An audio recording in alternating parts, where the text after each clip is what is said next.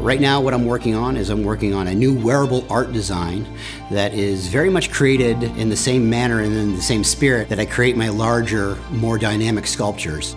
This work in particular is meant to ornate a body. And the design theory is I want to create something that people can have a much more intimate relationship with. I want them to have something that they can go home with.